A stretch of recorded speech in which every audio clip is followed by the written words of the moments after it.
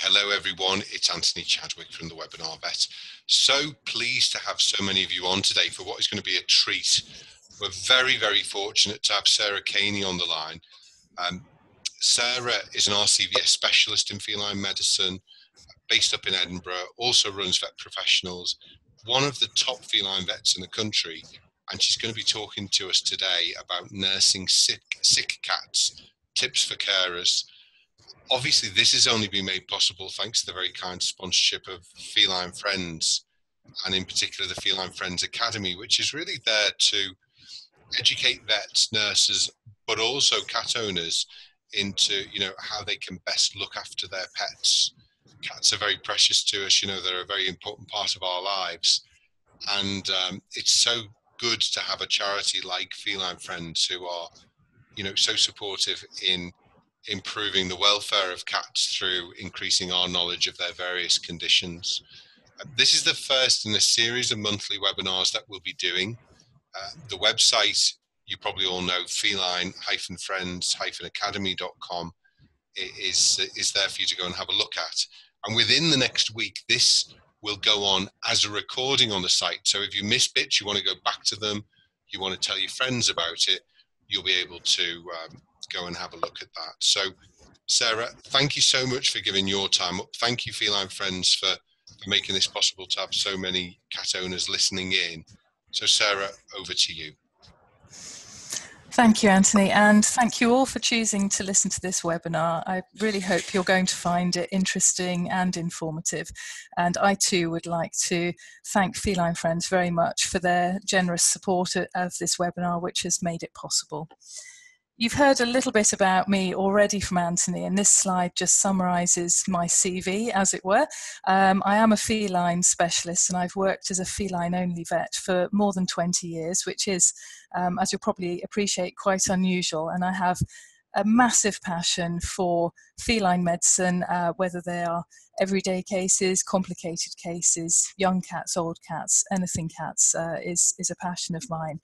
And several years ago, I set up my business, Vet Professionals, to provide some educational resources for pet owners and also for veterinary professionals. And the pictures, uh, the square pictures on this slide, are books that are published by vet professionals available through our website and also Amazon as um, print books or uh, PDFs that, as you can see from the titles, deal with very specific conditions um, in great detail, really providing a resource for the carer to really come to understand um, in the best possible detail how they can provide their cat with, for example, kidney disease with the best quality and length of life as possible. There are also on my website some free to access resources, technical guides and videos, for example, which you can access through the helpful info section of my website. Um, and lastly, um, we do owner research through the website. This is clinical research, so looking at different conditions, um, primarily in cats again, because that's obviously my passion, and learning more about um, the carer experience of uh, diagnosis and management of different conditions. And I would like to thank anyone who has participated in any of our previous or current surveys um, for, for your time. It's very, very much appreciated. And we will be launching in the next couple of weeks a new survey on management of cats with kidney disease, um, particularly related to dietary management. And if this is of interest, um, either keep an eye on our website or feel free to drop me an email and I can let you know when that survey has been launched. So the topic for tonight was, of course, um, nursing of cats, uh, sick cats, when to worry, what to do about your concerns, and what nursing tips can you follow at home that um, hopefully are going to be helpful to your cat. And the first thing I would really like to say here is that if you ever think, oh, I don't know if I should be worried about this or not, I'm not sure I, I don't want to bother my vet because I don't know if I, I really should be picking up the phone, I would always say trust your instincts.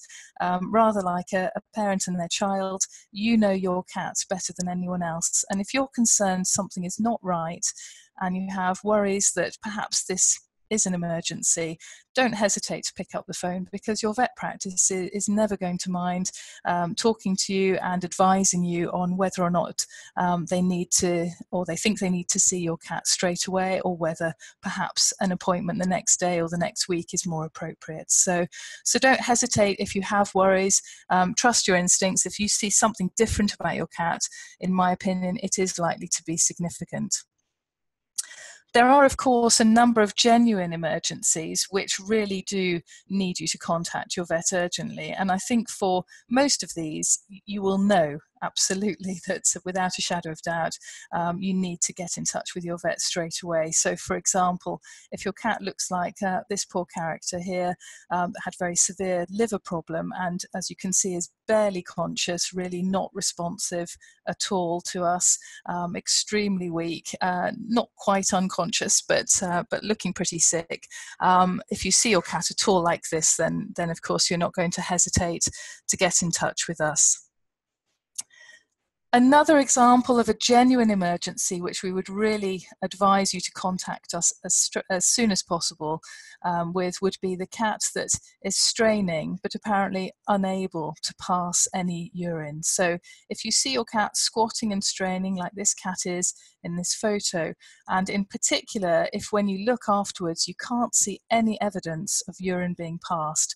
then this is a really important emergency situation. And the reason for that is that the most common scenario for, for this particular situation is what's often called a blocked cat, where there is a problem with urine um, not being able to pass from the bladder to the outside because of some sort of blockage, physical or functional blockage in the urethra, which is the tube that takes the urine from the bladder to outside. And it is a, a, really important emergency because if your cat can't pass urine, they can't excrete the waste products that are in the urine, it can make them extremely ill and actually can kill them within 48 hours. So, this really is an example of a situation where don't wait till the next morning, pick up the phone and contact your vet. Sometimes, if a cat is straining, it can be difficult to tell whether they're straining to pass urine or feces. And if in any doubt, then again, I would say contact your vet because when we examine your cat, we can very easily determine whether your cat is constipated, so straining to pass feces, which is not so much of an emergency, although of course it very much needs to be treated. Um, uh, or alternatively where, whether there is this blocked situation where the bladder will typically feel large and very sore and the poor cat is in, in a much more serious state. Difficulty breathing would be another important emergency to be aware of as a carer, and uh, you will know that you very, very rarely, if ever, will see your cat breathing with their mouth open, as is the case in both of the cats shown in this picture. Sometimes in a healthy cat, they will breathe with their mouth open for a very short period if they're stressed. So um, you may have seen your cat when you take it to the vet practice, perhaps for, for a booster vaccination, that perhaps associated with the stress of the car journey, the waiting room, the veterinary examination, the cat may start to breathe with their mouth, mouth open, but the, that settles down very quickly. And if that's the case, it probably is just that your cat is quite stressed by the experience, which is, of course, not pleasant, but not uh, the other option, which is the emergency scenario where your cat actually genuinely has difficulty breathing. And if your cat at home starts breathing through the mouth, it indicates, in general, very, very severe. Often, heart failure would be uh, one important cause, but also lung disease and, and other diseases in the chest which affect the breathing. If your cat's not breathing with their mouth open, um, so not quite as dramatic as these photos, but you notice that their breathing is either very noisy or very laboured or very rapid, then that too also can be an emergency. And for those cats, you may find that when you take your cat to the vet, the added stress means that they do start breathing with their mouth open as well. If in doubt, of course, contact your vet.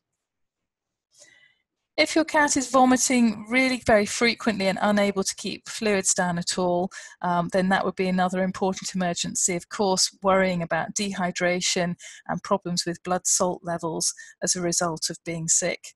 Diarrhea doesn't tend to be quite as much of an emergency. It's less often causes dehydration in cats, um, but if it is very liquidy, and in particular if your cat is, is fragile in other ways, perhaps either very young or very elderly, or perhaps has other health problems, then that severe diarrhea also could be uh, much more serious a problem. So, again, if in doubt, have a chat with your vets. Pain in cats can be difficult to recognize, but again, if you if your instinct is telling you that there is something very wrong with your cat, this might be another possibility. And the cat in the lower picture here had a condition called pancreatitis, inflammation of the pancreas, which can be extremely painful. And this poor cat um, was uh, completely conscious, so um, aware of everything, but in such severe pain that he was really just lying very still. Um, and when we approached him, he would he would often growl and really be very tense until we were able to get his pain painkillers on board and working um, to help uh, control that pain. So if you see your cat seemingly very sore, very uncomfortable, um, the picture on the right hand side shows a different patient, but you can see just that very sad sore cat expression, um, then again, um, painkillers are available and very effective in cats and can obviously have a, a very big impact on this sort of situation. Cats don't commonly have seizures or fits, um, but these do happen from time to time. And this is another example of a, a serious um, an emergency situation, particularly if the seizure goes on for a long time, by which I mean more, more than a couple of minutes. A cat that has a, a full, complete seizure, a generalized seizure, will be unconscious and typically um, have paddling movements of the front and back legs, uh, similar to, to a person having any sort of seizure.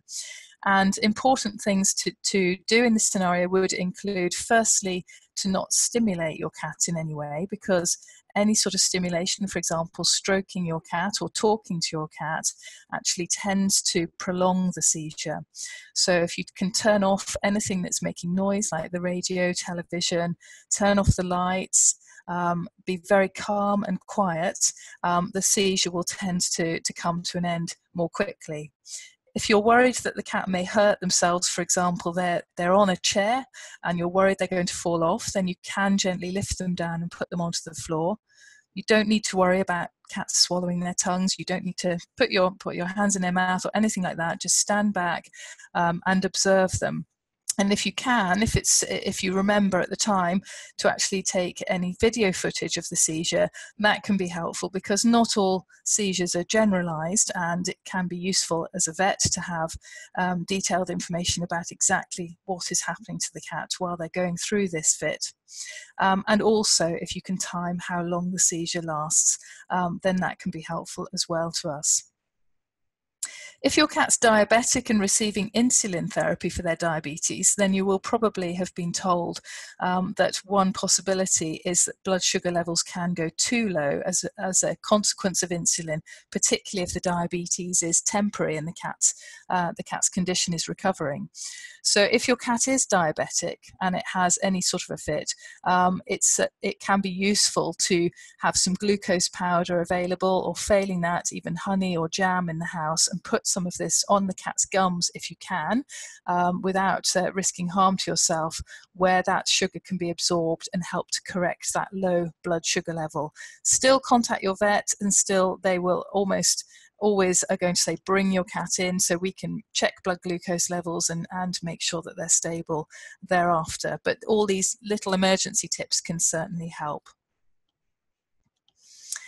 If your cat has any sort of bleeding issue, this cat you can see has got terrible nosebleed, which has resulted in blood dripping and splattering everywhere. For this cat in this condition, um, not so much an emergency from a blood loss perspective, just a, a dramatic photo. And actually, this cat had a polyp in the nose, so quite a benign disease that had a dramatic consequence, but we were able um, to treat the disease and, and help this cat.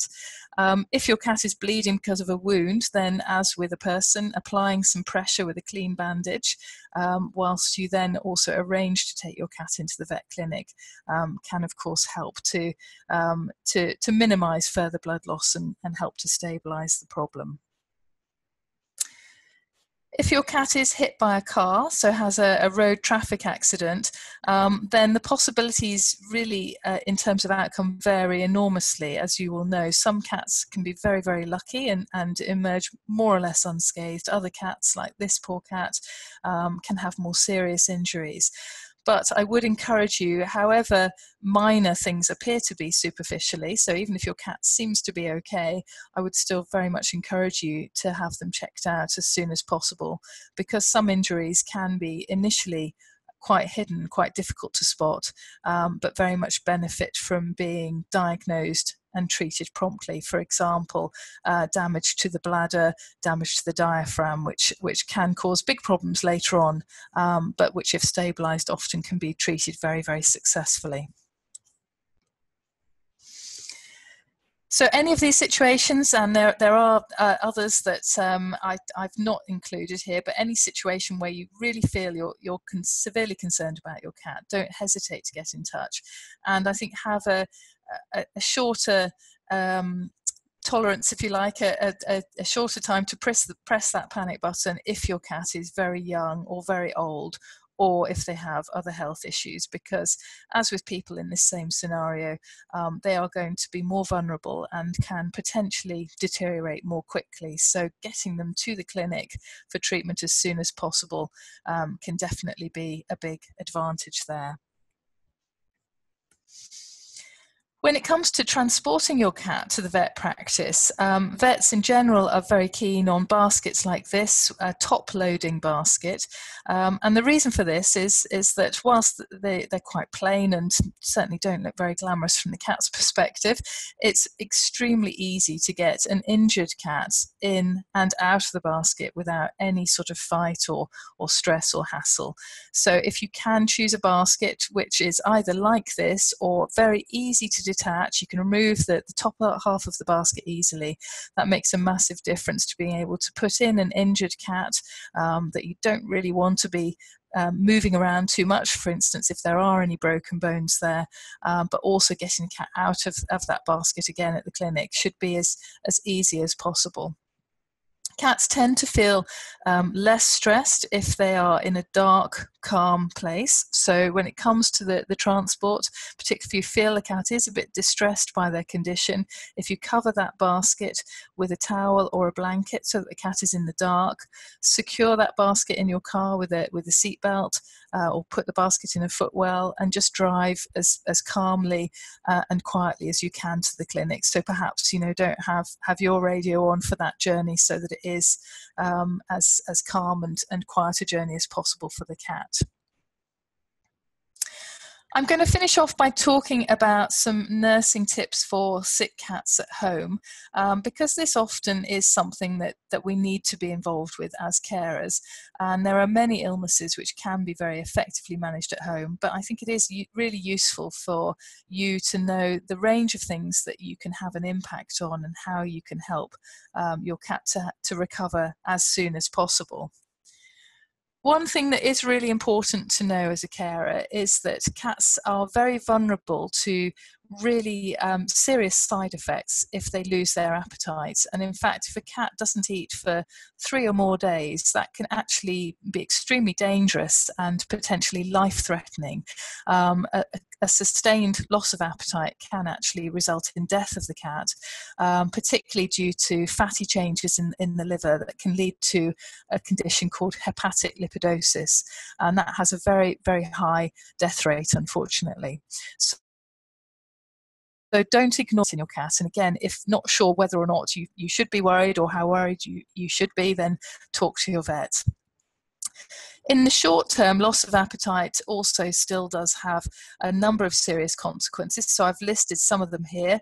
Dehydration. Cats aren't very good at drinking and they often will get a lot of their fluids um, through their food. So if they're not eating, um, they also are, are immediately vulnerable to dehydration also a lot of blood salts um, that perform vital functions like potassium.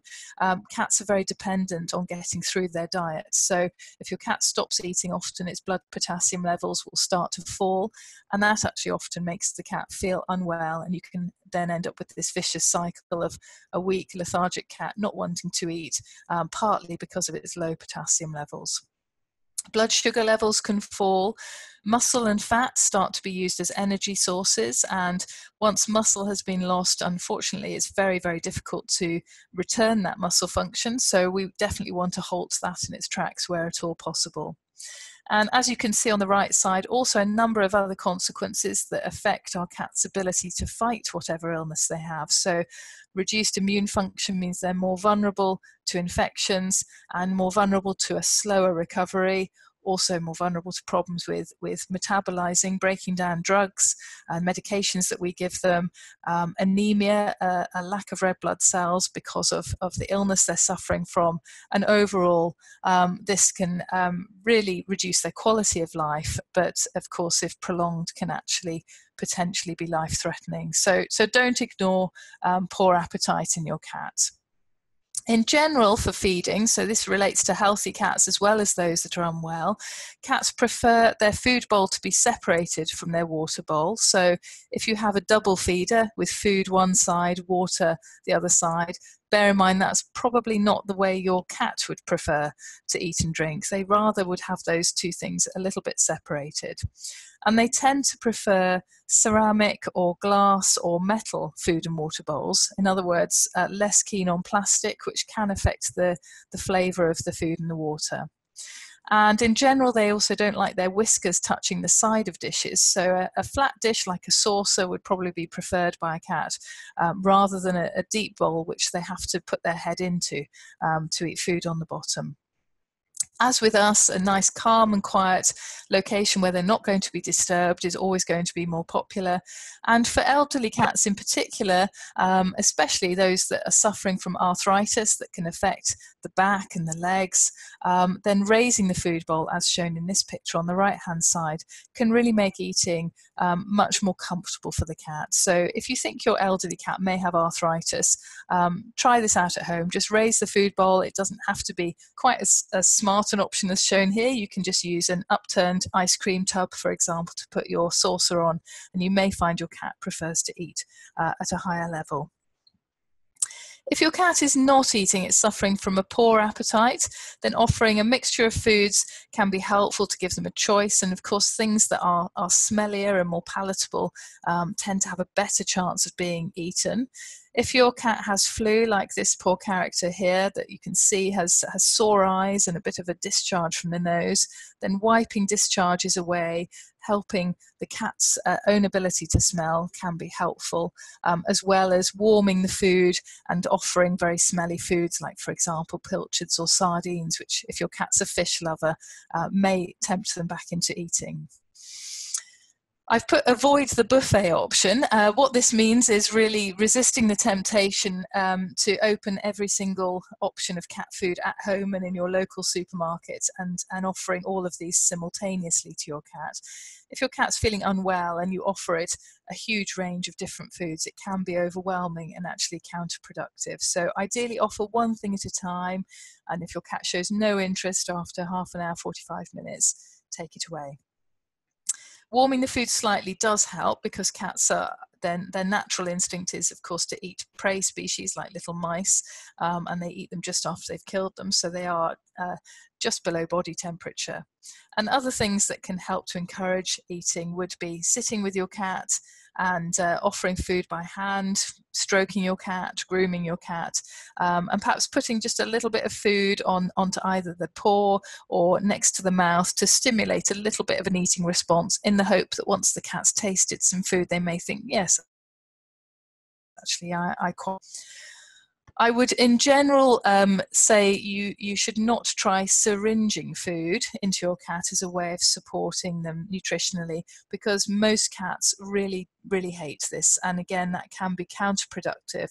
And also, giving food by a syringe, um, it can sometimes go down the wrong way. In other words, be inhaled into the chest and cause a pneumonia. So, um, unless you feel very strongly that your cat tolerates being syringed food very, very well, and your vet is happy for you to do that, I would avoid that because for most cats, it, it really is the wrong thing to do. Also, avoid um, what I would call stressful events. So, for example, if your cat's on medication, try and separate the medication from the feeding time if your cat's not eating very well, so that the cat doesn't associate nasty medicine with nasty food.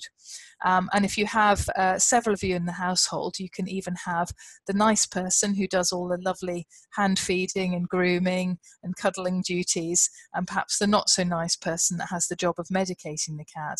And then again, the cat doesn't look at you and think, oh, no, you just, you gave me a pill. I'm not going to eat. I don't like you. Remember to avoid foods that cats can't tolerate. So, things with onion or garlic in them are poisonous to cats and can cause anemia, which again can be fatal.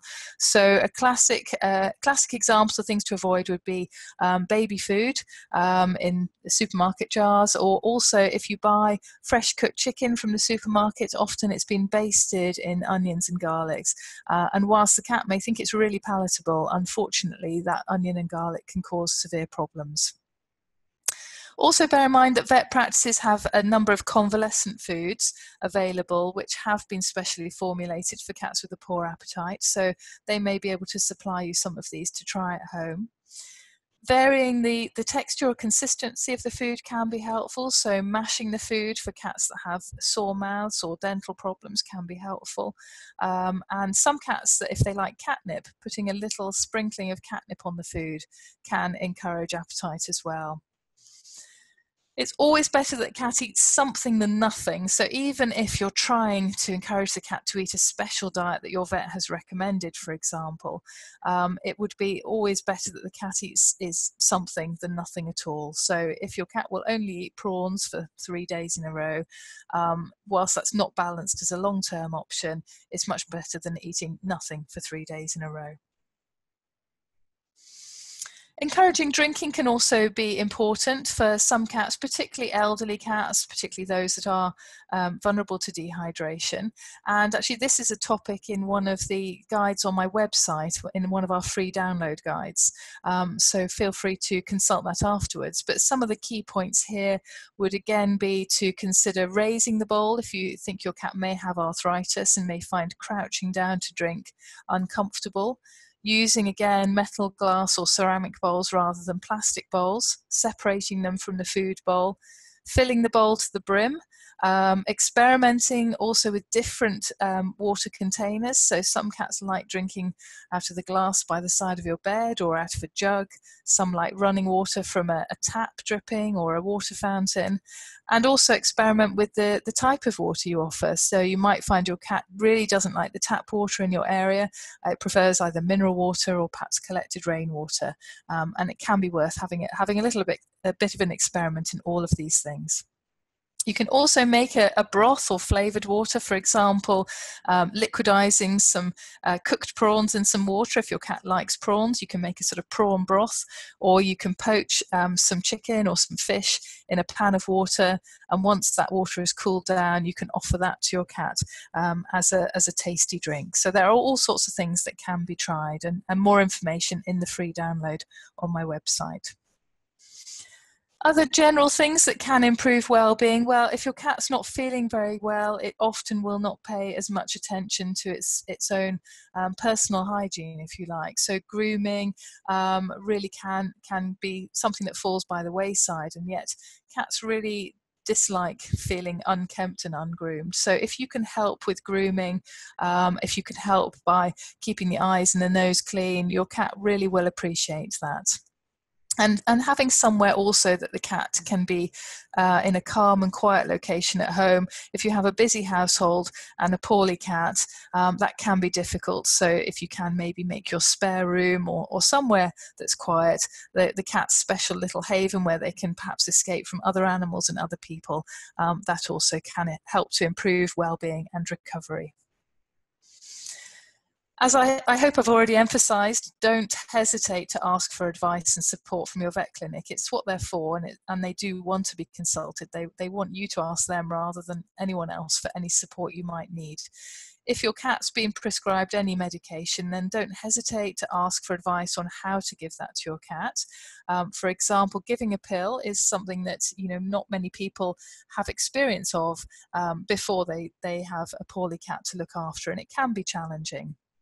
Also bear in mind if you are giving your cat any pills that if you give them to your cat dry in other words uh, if the cat has the, the, the pill separate to um, any food or water then that pill can st- sit in the cat's throat in the same way that it does with ourselves if we ever take a pill without any food or water.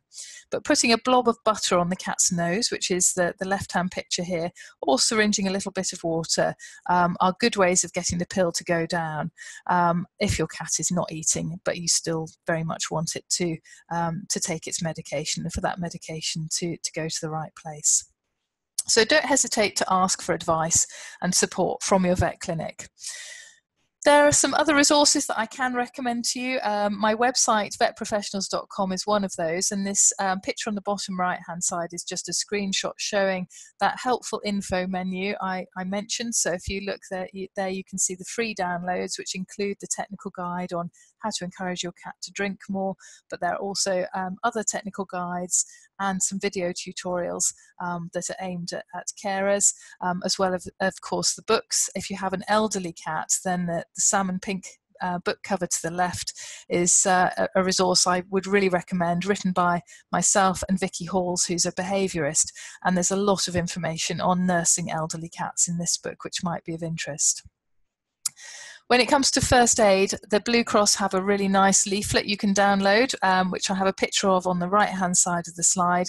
Um, you can access that via their website, and they have a lot of information on how to um, provide emergency treatment for a number of scenarios that I've, I've sadly not had time to go into detail. And the cat health and iCat care websites would also be ones that I can recommend for having good quality information available to you. So thank you very much for choosing to listen to this webinar. I hope you have found it helpful and I hope that all your cats are extremely well and not in need of any veterinary attention. Um, but I would be happy to answer questions if you have any. And also if anyone would like a PDF copy of the slides I've used, if there were things that um, you wanted to write down but didn't have time, please feel free to email me either sarah at vetprofessionals.com or info at vetprofessionals.com. Thank you very much. Thank you so much, Sarah. That was fantastic. I think you know, really practical. It's it's little things that even as vets we can forget. We can sometimes forget, you know, difficulties that owners have. I've just uh, seen my next door neighbour's cat who, who we we sort of sent off to the vets. As you know, I'm not practicing now, and um, you know, it's got hypothyroidism, tablets are difficult, but there's now a liquid form. And, you know, by chatting to the client, it was easy then to make sure my neighbor that she got a medication that she wasn't going to get stressed out about. So, as you said, the vets are there to really help and assist and make, you know, your life easier. It's obviously a stressful time when a, a you know, a, a, member of the family, the, the, the pussycat is unwell. So, you know, do go and um, seek advice, you know, from your vets about that. Would you agree with that, Sarah?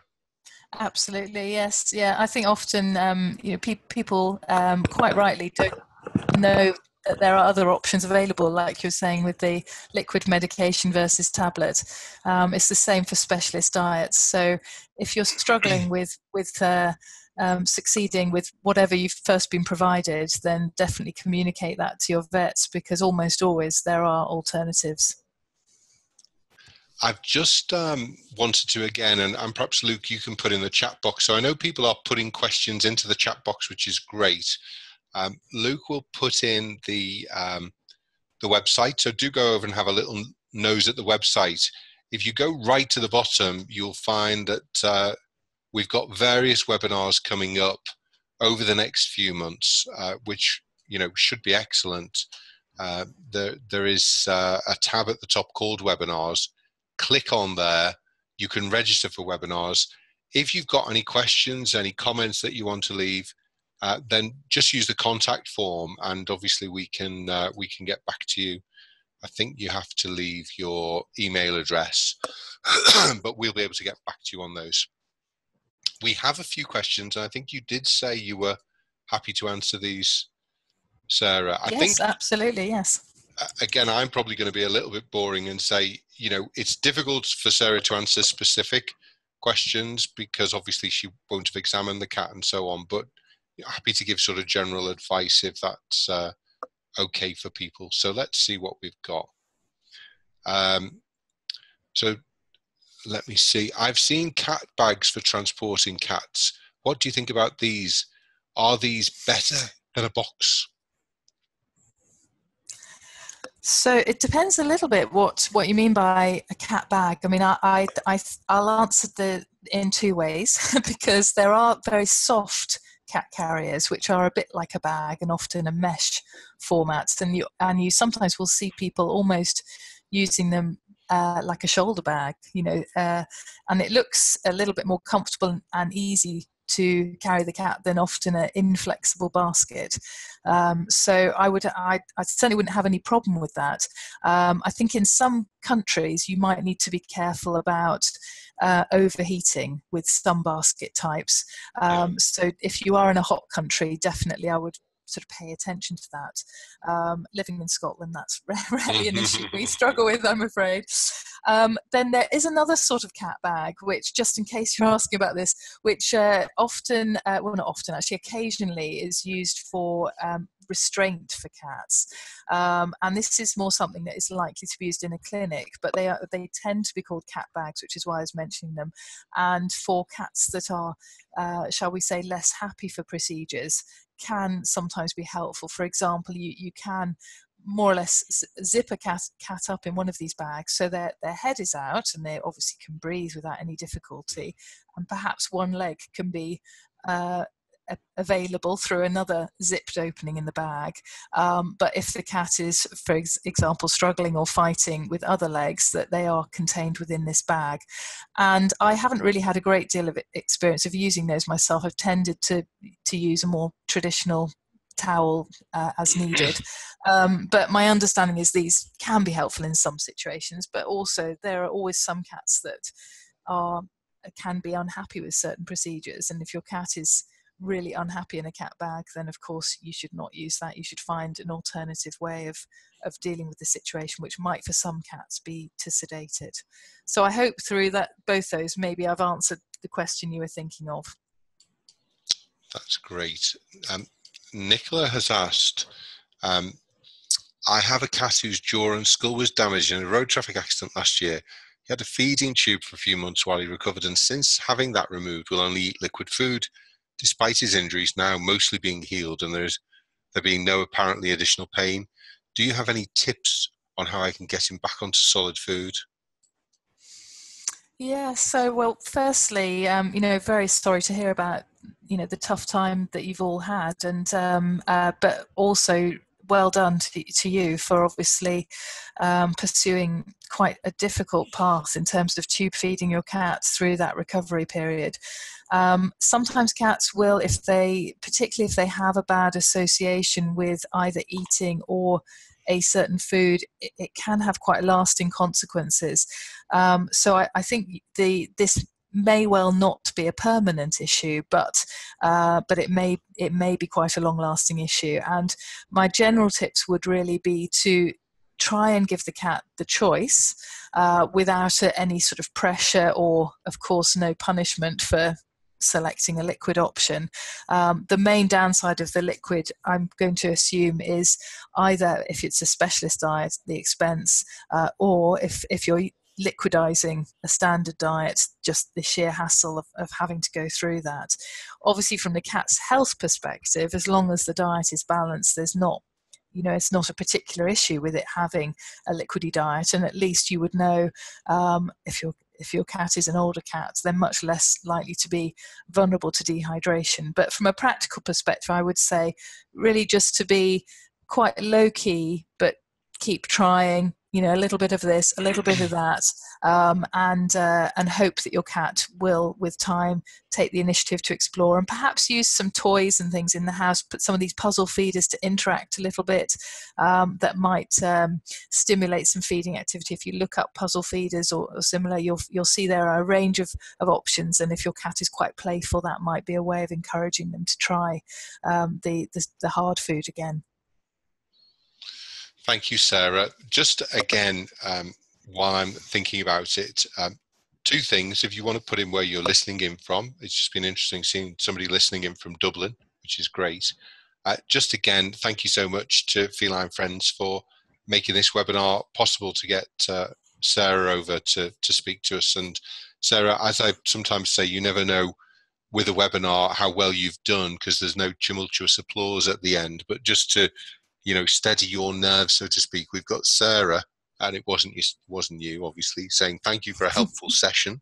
So you weren't self-promoting there.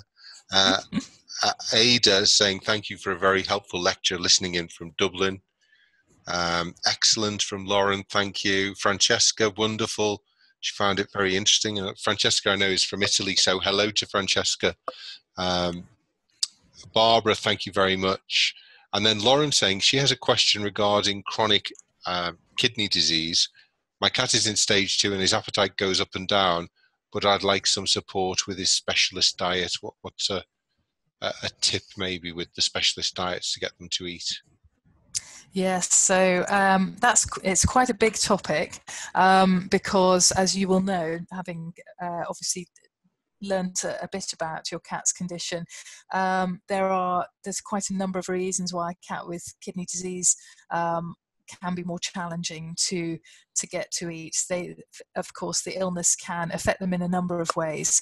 Um, so um, the first thing would be to obviously talk to your vets and, and to make sure that they are aware of this. Because if, for example, um, when on further assessment they find perhaps your cat has um, some complications of kidneys kidney disease, an example would be anemia. Um, if your cat is anemic and feeling weak, their, their appetite is likely to be low, but there is treatment available for the anemia. And so, of course, treating that and correcting it can have an impact on appetite. So I start by looking for all those things that are, are potentially fixable if you do all that and find that still your cat's appetite is a bit variable from day to day, um, then um, there, firstly, uh, there are a number of different kidney diets available um, and uh, a number of different companies that make kidney diets, but each of those also typically will have several in their range. So, whilst it can be a bit wasteful on throwing away food, unless you conveniently have a dog in the house that can hoover up anything your cat doesn't like, um, there are an awful lot of different options that you can try. Um, and uh, for example, um, one company, Royal Canin, do this um, uh, starter kit for cats with kidney disease, which has a, a, a, sample of all of their kidney diets in it. I think it costs about £25. You can get it, I think, online or through your vet clinic. And that can be quite useful because it gives you an opportunity to try in small amounts all of the different things available also remember just that it's again it's always more important your cat eats something than nothing. To keep persisting with that kidney diet though so if this week your cat's not into it well don't forget it forever. Perhaps next week if your cat's feeling better offer a little bit of that kidney food. Try and encourage them to eat more and more of that. Um, and if uh, in spite of, of all the sort of uh, long-term persistence again you feel your cat's appetite just is is poor in general, bear in mind that there are medications that can help to stimulate appetite. So, appetite stimulants in cats, also treatments for, for feeling sick, which some cats uh, with kidney disease do as well. So, there's a lot of different things that you can work through and try. Um, and most cats with stage two kidney disease, it is possible to stabilize them. Um, and in fact, you are definitely doing the right thing by trying to feed your stage two cat um, a kidney diet because that very much is proven to improve quality of life and length of life in the long term. But as as we've discussed, it's it doesn't necessarily mean it's easy to do, but you are doing the right thing. No, absolutely. I think there was a study done once, Sarah. Uh, I, am sure you're aware of it that, that showed it, it can almost double the life expectancy compared with just feeding normal food. So it is one of that's those ones that's really proven to work. But cats can be cats, and not eat it. And it, as you say, it can be a bit of a challenge, can't it? Yes, yes. Uh, Pat's saying thank you, Kinross in Scotland. Very informative. Yes, they've just opened oh, a small boarding cattery, so she's looking forward to future webinars. And I know uh, Luke has put on the site, uh, has put in the chat box the the the website. You can just go onto the website and and you know register for the webinars that you find interesting. I've just had a tweet actually from one of um, one of my Twitter people saying um, New York City's first dog cafe pairs coffee with canines, and I'm I'm wondering when we're going to get um, you know, a feline cafe, but uh, New York have got their first dog cafe anyway, so that should be interesting. Reason I'm saying that is we've got Paula listening in from uh, New York City, and she's saying if you suspect a protein sensitivity to chicken or turkey, does that generally show up in stool or in vomiting, or both, or some other way? So, dietary uh, intolerances or sensitivities can, can, show in either or both. It probably is the short answer. If your if your cat is um, showing any sort of bowel signs at all, then that would be one of the possibilities. And and in fact, if your cat is showing um, signs of bowel disease, so vomiting, diarrhea, for example, but not in an emergency sort of way, one of the most straightforward things that you can try is actually a dietary trial, which most cats actually are fine with chicken. So chicken is often used as a as a convalescent food, and in the short term, just feeding your cat chicken for a few days to see if that uh, improves the, the, vomiting or diarrhea uh, often can be very successful as well. In the longer term, of course, that's not a balanced diet. So, again, you would need to have a chat with your vets about what might be the best option. And of course, with my dermatologist hat on, sometimes with a food allergy, cats might be itching. You might think they're fleas, but actually there's food involved. So that's always another thing to think about mm-hmm. as well. Yes. Um, Jane is saying she's in Worcestershire, sadly lost her cat Sir Henry to a tumour in his chest, looking for a new friend. So I'm really sorry to hear that, Jane, but hopefully you've enjoyed the, the webinar. Uh, can we watch this webinar afterwards? I missed the beginning, Deander. Yeah, that should be on the site within the next few days, and we will let you know when that comes up. But obviously, you know, come back to the website as well. One of the ladies I just noticed a bit worried. A cat had a cold over Christmas, and she stuck it in a cage and was encouraging it to breathe in hot water, uh, you know, steamed water with perhaps a, a little additive like a Olbas oil, is something like that likely to cause a problem for a cat? So the steam, I think, is is a good idea. Um, I'd be always a bit careful about things like Olbas oil in, in cats because we just don't know as much about their their sensitivities, and and yeah. uh, it may be fine, but I'd just be a little bit cautious about that, particularly uh, again the very young, the very elderly, those more mm. fragile cats. But the steam itself, I think, is a good idea. So something simple you can do if your cat is very fluey and bunged up is is sort of run a steamy shower or bath and take the cat into the bathroom with you, um, just to try and loosen those secretions and and make breathing a bit easier. That's great. Jenny's listening in from North London. Linda, thank you very much, is in Cumbria.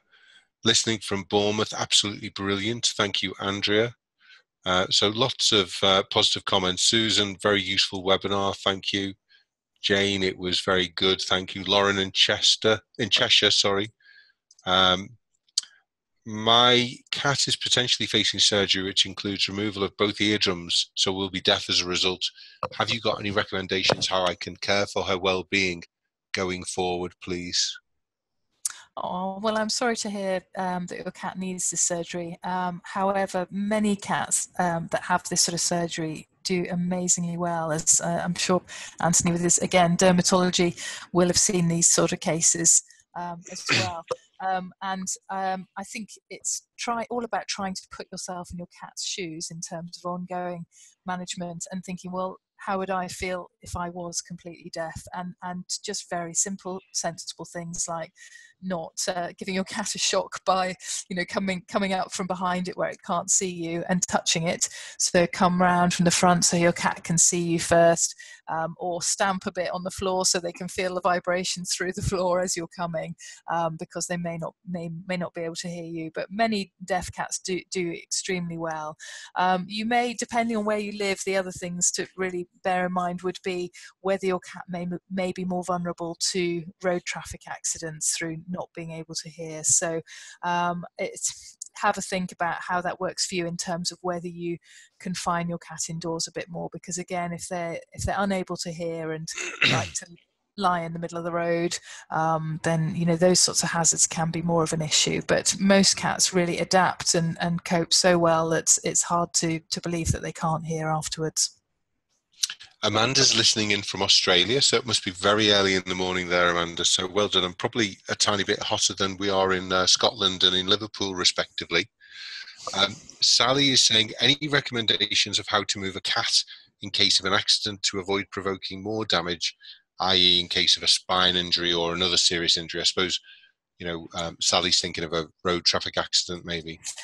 Yeah, so I think in that situation, if if you are able to support the cat as it is, um, then that's uh, an advantage. So that might uh, might involve very gentle lifting onto something flat, um, or if your basket cat basket is quite roomy, just very carefully lifting the cat in into there. Um, but if you had an alternative surface, if the cat's relatively immobile, um, that might also be an option. So even you know taking a, a, a, drawer out of your chest of drawers or whatever to lift the cat into as a as a shallow but flat surface could could work. Um, there's not obviously we don't tend to have the specialist equipment that's available um, from a human ambulance perspective, so we just do things as, as gently and as supportively as we can, and obviously keep fingers and toes crossed on the journey that um, everything will be okay.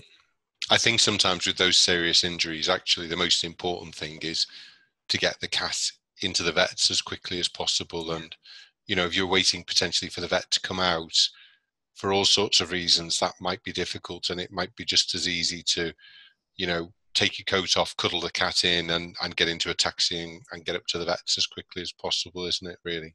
Yeah, yeah.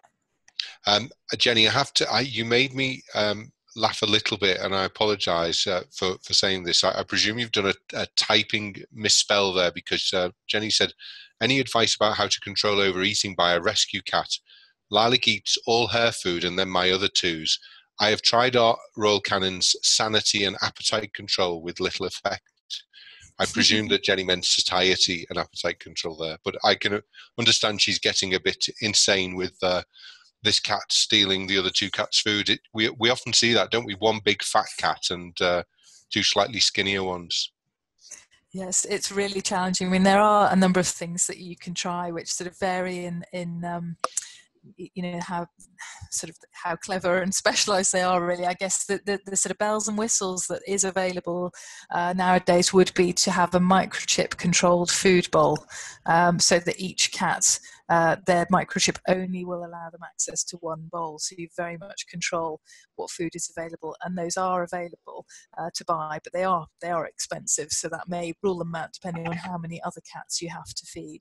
Um, sometimes it's possible to have uh, what, what I would call a, a, sort of creep feeding system. so if your overeating cat is is is overweight and and can't jump on jump up onto work surfaces, for example, mm. providing the other cat's food at, at, at that higher level, so where they can get, but the the over overweight cat can't get. Um, that can be an option also um, trying to minimize how much food is just left available ad lib so meal times and being strict which i know is difficult um, and you may find as well if, if your if your overeating cat is very quick that you need to sort of put the cats into separate rooms with their food and then remove all the food before you open the doors and, and let the cats mix up again. Um, so there are sort of a number of different scenarios and, and again i would i would chat with your vet clinic about having support for this as well because you're obviously working hard uh, by trying specialist diets and i think you know it's good to have support and monitoring um, available to you as well Fantastic, Sarah. Thank you so much for all those. I've got a last couple. We've got Molly listening in from Minneapolis. I mean, the world is becoming a smaller place. Yeah. It's lovely to get all of these people listening in from all over the world, you know, and and you know, getting the good advice, which obviously just helps them to care for their treasured member of the family better. So, uh, thank you so much, Sarah, for for being so generous in your sharing. Uh, Caroline said, "Well done, Sarah. Excellent. Thank you so much." For an excellent webinar. And uh, Molly from Minneapolis also said, thank you for the information. So thank you so much, Sarah. I've really enjoyed it. Um, it sounds like a lot of other people on the call have done so as well. And, uh, you know, do go on to the website. It's feline-friends-academy.com. And uh, you should be able to see some of the other webinars that are coming up. We've got some cracking speakers uh, you know, all experts in the field. I know we've got a veterinary dentist coming up shortly as well. So do go and have a look at those and feel free to register. And if you've enjoyed them, tell your friends. Thank you very much, everyone. Thank you once again to Feline Friends for making it possible. And we'll see you all next month on another webinar. Thanks, Sarah. Thank you. Bye.